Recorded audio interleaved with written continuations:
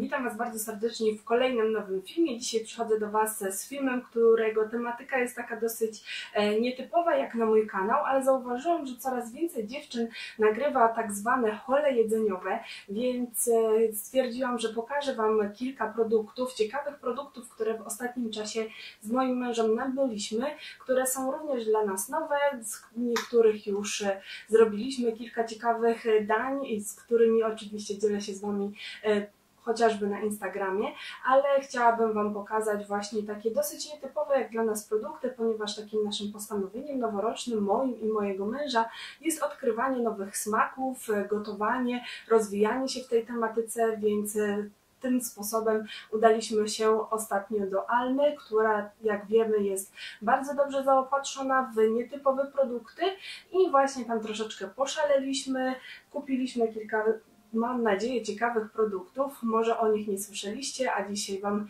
je pokażę i y, może się na nie skusicie, więc jeśli jesteście zainteresowani tą tematyką, to oglądajcie film dalej. Jeśli chodzi o ceny tych produktów, będą Wam się pojawiać tutaj w tym rogu, ponieważ nie mam przy sobie paragonu. Jak go gdzieś wyszperam, to będę Wam podawać dokładne ceny właśnie w tym miejscu. A teraz e, przechodzę od razu do e, pokazywania Wam e, rzeczy. Pokażę Wam trzy produkty, które ostatnio odkryłam w Lidlu, które dosyć regularnie już kupuję. Pierwszym z nich będzie to taka mieszanka orzechów. Tutaj w tej paczce znajdziecie zarówno orzechy nerkowca, migdały, orzechy włoskie i laskowe. Mieszanka przepyszna, na przykład jeśli macie ochotę coś przegryźć w międzyczasie, ja te orzechy sobie rozdrabniam, wrzucam do wsianki, do sałatek, tak naprawdę same w sobie też orzechy są pyszne, ja jestem fanką orzechów i taka paczka, ona ma 200 gram, kosztuje 12 zł, troszeczkę dużo, ale takie mieszanki studenckie są dosyć drogie, ale orzechy są świeże, dobrej jakości, więc naprawdę serdecznie Wam je polecam. Kolejnym produktem będą laski wanilii, które również możecie dostać w Lidlu. Nie wiem, czy one są dostępne tak regularnie, ale, ale w okresie przedświątecznym one były ogólnodostępne, było ich mnóstwo w Lidlu. Za dwie takie laseczki płaciliśmy w promocji 3,50, później kosztowało około 5 zł.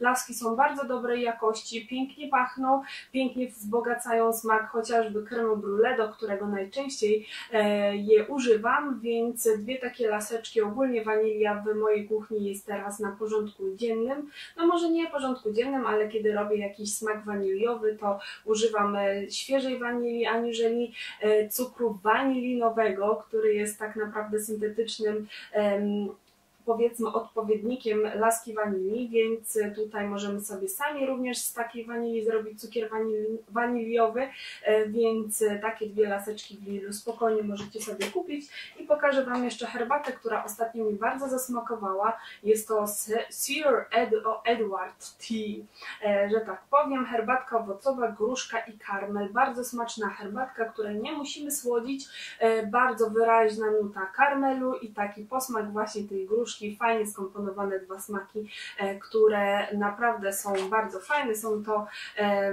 piramidki, więc ona też nie jest jakaś bardzo mocna, więc nawet wieczorem możemy sobie ją spokojnie zaparzyć i naprawdę ten, e, to połączenie smakowe jest bardzo ciekawe. A jeśli mowa już o słodzeniu, to ja już od pewnego czasu słodzę tylko i wyłącznie swoje herbaty, czy też inne rzeczy z syropem z agawy. Jak widzicie mam już tutaj zużycie dosyć znaczące, jestem prawie że połowie. E, jest tutaj 690 gram, ja ten syrop kupiłam w Rossmanie. E, on w Rossmanie nie na promocji kosztuje 25 zł, ja go kupiłam za 19 zł, kiedy był na promocji, więc warto się wtedy za nim oglądać. Bardzo fajna alternatywa dla cukru, wystarczy niewielka ilość, aby posłodzić sobie e, czy to herbatę i inne produkty. Ja staram się herbaty nie słodzić, na przykład tej nie słodzę, ponieważ sama w sobie jest już taka delikatnie słodka, ale kiedy najdzie mnie na dodatkowe słodzenie, to tylko i wyłącznie sięgam po ten syrop z agawy, który jest również z serii bio. Pokażę Wam jedną z... Teraz pokażę Wam jedną ze świeżych rzeczy, ponieważ możemy, o już widzę tutaj, że zaczął mi kiełkować. Jest to topinambur, pokazywałam już Wam w jednym filmiku jako taka ciekawostka, zagadka właśnie topinambur. Możemy go kupić w delikatesach, w eko, w almie i tak dalej, bez problemu. Myślę, że jest on teraz coraz bardziej popularny. My żeśmy go wyhaczyli z Top Chefa i tych wszystkich kulinarnych programów, ponieważ tam wszyscy robili chipsy z topinamburu i mój mąż mówi, co to jest ten topinambur. Oczywiście wszystko w internecie wyczytam na jego temat. Okazuje się, że jest to polski produkt, jest to słonecznik bulwiasty, e, który ma taki delikatny orzechowy e, smak i możemy za jego udziałem zrobić czy to pióre, czy to chipsy, obrabiać go w taki sam sposób jak e, ziemniaki, więc jest to naprawdę bardzo fajna sprawa. On jest taki dosyć twardawy, jako taka przekąska na surowo sama w sobie jest również taka, taka Również jako przekąska sama w sobie, sam w sobie ten topinambur jest bardzo smaczny. E, ta opakowanie kosztuje pół kilograma topinamburu, niestety kosztuje e, tutaj akurat 11,80 nas kosztował, ale moi drodzy jest go tutaj naprawdę bardzo dużo i możecie urozmaicić za jego pomocą na przykład zwykłe, e, normalne, codzienne pióre. Ostatnio byłam w Eko i w, właśnie teraz pokażę Wam rzeczy, które dostałam w Eko. Jakiś czas temu rozglądałam się bardzo um, za czarnuszką, którą e, akurat jedna z zwyciężczyń Masterchefa użyła w jednym ze swoich chyba pierwszych dań, zrobiła bułeczki z czarnuszką i dostałam właśnie z kotami e, czarnuszkę w delikatesach Eko. Jest to nowość, czarnuszka cała i tutaj na opakowaniu producent pisze nam, że ziaren czarnuszki używa się podobnie do maku, posypuje się nimi wierzch ciastu, ciasta, chlebów, pit i innych małych ciasteczek, więc ja tutaj tą czarnuszkę myślę, że jakoś tutaj wykorzystam. E, poza tym e, wpadła mi w, oko, w oko również kozieradka e, i kozieradkę można dodawać ją do kary, pikli, pikantnych zup, potraw z ziemniaków, pomidorów oraz ryb. W Turcji, Inda, Indiach i Chinach e, palone i zmielone ziarna kozieradki uchodzą za substytut kawy, więc e, dosyć ciekawa również przyprawa, którą będę tutaj wprowadzać do mojej kuchni i po raz pierwszy rzuciły mi się w oczy zioła dalmatyńskie. Jest to mieszanka ziół, w których w skład wchodzi oregano, bazylia, majeranek, rozmaryn, czomber, tymianek i szałwia, więc część takich dosyć standardowych przypraw, które na co dzień stosujemy w kuchni, a takich jak czomber, szałwia i e, Czomber i szałwia na przykład nie są jakoś bardzo często e, używane i tutaj producent nam e, zastosowanie podaje takie, jest to idealne, są idealne do sosu pomidorowego, dań z makaronu, pizzy, mięs, poniżej y, wyśmienity przepis, właśnie na każdym z tych y, opakowań z tyłu mamy przepis, tutaj akurat na zupę jarzynową, więc y, z udziałem właśnie tych ziół, i coś na podobę ziół prowansalskich, więc zobaczymy jak będą smakować w daniu.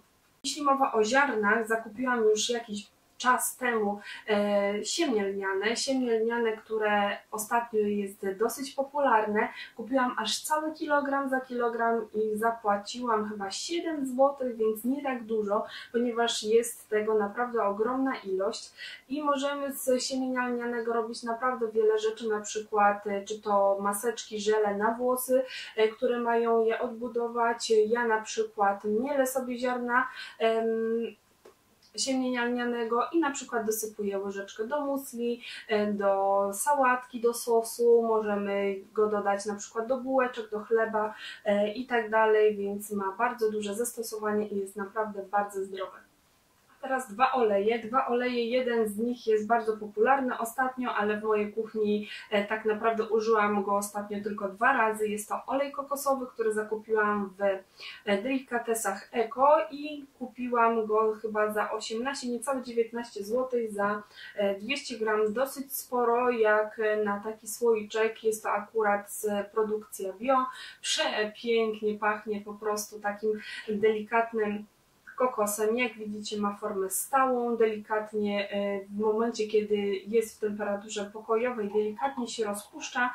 Na patelni bardzo szybko staje się płynny, ma przezroczystą formę w momencie, kiedy jest podgrzany i daje potrawom taki delikatny kokosowy smak. Podobno w momencie, kiedy on się pali, nie wytwarza szkodliwych substancji, więc stwierdziłam, że spróbuję. Jeśli się sprawdzi, to oczywiście kupię sobie większe opakowanie, e, które będzie bardziej ekonomiczne. A drugi olej, który kupiłam, e, kupiłam go tak naprawdę pod względem kosmetycznym, aniżeli kulinarnym. Jest to olej arganowy bio, e, który zakupiłam do pielęgnacji moich włosów, ponieważ akurat moje włosy nie lubią się z olejem kokosowym, a z olejem arganowym już troszeczkę bardziej, więc będę sobie za jego pomocą olejować włosy. I go tutaj mamy 100 ml i ja za te 100 ml olejku arganowego zapłaciłam ponad 30 zł. Nie wiem czy to dużo, czy to mało, jest to produkcja bio, płynne złoto Maroka, tutaj na buteleczce producent nam pisze, bardzo szerokie zastosowanie nie tylko w kuchni, ale również w pielęgnacji, więc mam nadzieję, że się u mnie sprawdzi na szerszą taką skalę. Osobnym, ostatnim działem będą mąki, które zostawię na koniec, a teraz pokażę Wam jeszcze jeden produkt. Jest to ciecierzyca. E, ciecierzyca w, tak naprawdę dla mnie była nieznana do chyba ostatniego tygodnia, z którego, w którym przygotowałam falafele e, i po prostu zakochałam się w tym produkcie. E, wygląda to jak taki groszek, nie zielony, tylko taki właśnie beżowy. E, jest to również produkcja bio, za którą no niestety zapłaciłam, tutaj mamy ile, 400 gram, zapłaciłam za nie chyba 6 czy 7 zł, ale okazuje się, że Lidl wypuścił jako nowość ciecierzycę, za, za którą zapłacicie chyba 3,50 czy jakoś tak, więc możecie się udać po ciecierzycę do e, Lidla na przykład. W każdym sklepie, supermarkecie dostaniecie bez problemu ciecierzycę i serdecznie Wam polecam przygotować falafele. Przepis niezwykle prosty, przepyszny w smaku, po prostu cudownie, więc ciecierzyca będzie teraz myślę gościć w mojej kuchni coraz częściej. Teraz przejdę do wspomnianych już wcześniej mąk. I pierwszą z nich może nie będzie mąka, ale jest to żyto do domowego wypieku. Możecie kupić, my akurat je dostaliśmy chyba w Auchan e, i tutaj jest to, są to ziarna żyta, które możecie zakupić i sami w domu na świeżo sobie zmielić, jeśli macie młynki e, i przygotować na jego bazie świeżutki, pyszny chlebek, więc tutaj my mamy taki młynek, dzięki któremu możemy zmienić sobie odrobinę takiego żyta i na świeżo dodać do e, chleba, więc tutaj mówię Wam, że możecie bez problemu dostać świeże ziarna, one są niestety e, dosyć drogie, bo kilogram takiego żyta kosztuje chyba 7-8 zł, a wiem sama z doświadczenia, że e, w sezonie po żniwach to po prostu jest chyba złotówka czy dwa za kilogram, więc tutaj postaram się, kiedy będę w domu zdobyć takie właśnie żyto świeże z pól, które z żyta, które rośnie tak naprawdę nieopodal mojego domu rodzinnego. E, więc taka ciekawostka, możecie dostać zarówno żyto, pszenicę, owiec, orkisz i tak dalej, więc tutaj możecie się rozejrzeć i to jest dedykowane dla Thermomixa, ale to jest taka tylko, wiecie, informacja, ponieważ w każdym młynku, tak naprawdę takim młynku, no może nie do kawy, ale my mamy taki młynek uniwersalny, możecie sobie zmienić i również decydować o grubości mąki, więc tutaj nie macie żadnych spulchniaczy, żadnych antyzbrylaczy i tak dalej, tylko świeże ziarno, mikser i mąka gotowa. Jeśli chodzi o wypiek bułeczek, teraz będę piekła właśnie e, bułeczki na bazie mąki pełnoziarnistej, e, pszennej, i tu jest akurat e, gdańskie młyny, e, kilogram mąki, nie pamiętam już ile ona kosztowała, ale jest to mąka pszenna, ale pełnoziarnista, więc troszeczkę zdrowsza aniżeli e, ta tortowa czy zwykła biała, więc dzisiaj postaram się ją wykorzystać do kajzerek. Upiekę właśnie kajzerki. Tutaj producent nam pisze, że jest idealna do naleśników, ciast, chleba oraz pierogów, więc jak widzicie, możemy ją stosować jak normalną, zwykłą mąkę e, pszenną, ale jest pełnoziarnista, więc zdrowsza. ciekawszych mąk również z firmy Melvit jest mąka orkiszowa do wypieku domowego chleba. Orkisz jest niezwykle zdrowy e, i również powoli wprowadzam e, to, to ziarno do mojej kuchni. E, będę na pewno na jego, e, na, jej, na, na bazie tej mąki piec chlebek. Ogólnie staram się teraz nie kupować pieczywa w sklepie, tylko piec, ponieważ nie jest to jakaś bardzo e, trudna sprawa. Mam teraz robota, który mi fajnie wyrabia ciasto na chleb i tak naprawdę przygotowanie bochenka nie jest jakąś bardzo trudną sprawą, więc myślę, że za jakiś czas również Wam pokażę, w jaki sposób ja akurat piekę chleb. E, I to również jest dedykowane dla Thermomixa. To jest e, gotowa mąka e, już zmielona, więc nie musimy tutaj bawić się w młynki. Mamy tutaj również przepis na chleb orkiszowy i po prostu również za jej udziałem można robić wiele, wiele innych fajnych dań.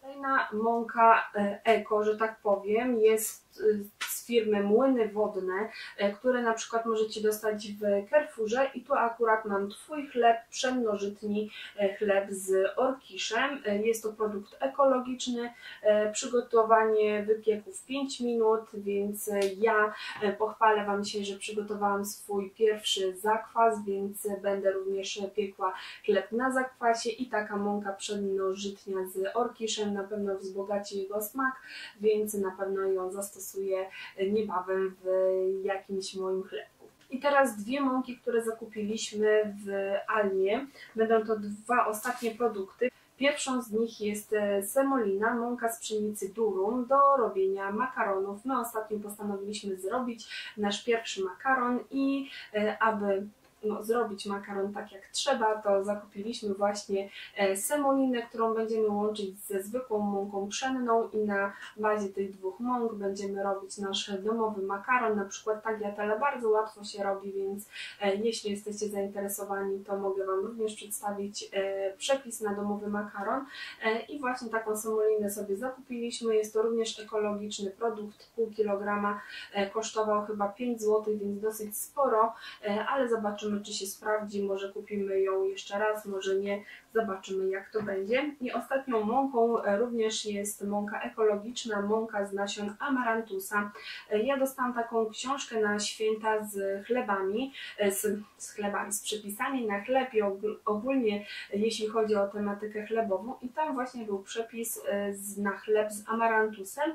Można kupić zarówno ziarna, jak i ziarna, jak i płatki, e, jak widać mąkę również, więc również zasmakujemy, zobaczymy czy to ma jakiś inny specyficzny smak. Jeszcze e, nie próbowałam jej, więc Wam się nie wypowiem. Również jest to jedna z droższych mąk, ale myślę, że warto spróbować e, nowych smaków. To tyle moi drodzy, jeśli chodzi o ten mój pierwszy jedzeniowy haul że tak powiem. Mam nadzieję, że pokazał Wam e, kilka ciekawych e, produktów. Dajcie znać, czy je znacie, czy jesteście zainteresowani filmami kulinarnymi, na przykład z przygotowaniem domowego makaronu, czy też chleba. I w chwili obecnej dziękuję Wam serdecznie za uwagę. Jeśli możecie mi jeszcze o polecić jakieś inne ciekawe smaki i ciekawe produkty, które u Was w kuchni się sprawdzają, to będę Wam naprawdę bardzo wdzięczna, więc e, to tyle. Dajcie znać w komentarzach, co myślicie na temat e, tego filmu i produktów, które Wam przedstawiłam. No i już teraz żegnam się z Wami i, i widzimy się jutro już nie w filmie z zakupami, tylko będzie to tag, więc e, jeśli jesteście zainteresowani, jaki tag dla Was przygotowałam, to oglądajcie, subskrybujcie i przyjdźcie na mój kanał jutro. Pa, pa!